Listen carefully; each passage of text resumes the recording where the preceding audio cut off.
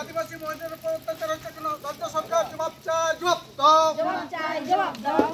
আদিবাসী উপর অত্যাচার রাজ্য সরকার জবাব ভারত সরকার ভারত সরকার মাঝে পাকানো আচ্ছা দিদি, আজকে এখানে কিসের আন্দোলন হয়েছিল আপনারা নমস্কার আমার নাম সুমি মুর্মু পিংলা ব্লকের কনভেনার বলছি। তো আজকে আমরা মিছিলটা দিয়েছি বলতে এই যে আর আরজিকর হসপিটালের আহ, হচ্ছে একজন ধরুন একজন ছাত্রী একজন ডাক্তার তো ওনার কেন ধর্ষণ হলো বা কি কারণ হলো কেন হলো ওটার আমরা বিচার চাইছি মানে ওকে যারা ধর্ষণ করেছে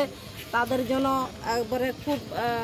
খুবভাবে তাদের জন্য শাস্তি হয় এটা আমরা চাইছি। ফাঁসি তো পরে হবে তো আগে ওকে একটু শাস্তি দেওয়া হোক শাস্তি দেওয়ার পরে ফাঁসি যেন হয়।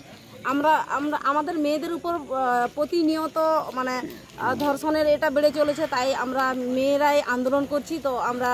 যাতে তার প্রতিকার পাই, আর যদি না পরবর্তীকালে পাই, আমরা বৃহত্তর আন্দোলন করব। এবং আমাদের আদিবাসী মেয়ে একজন পূর্ব বর্ধমানের যে প্রিয়াঙ্কা হাসদা, ওনার যে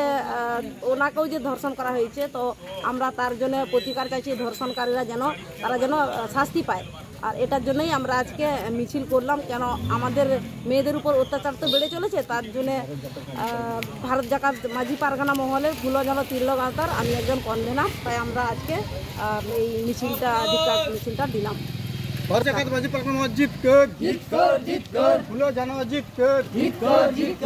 জানো ছবি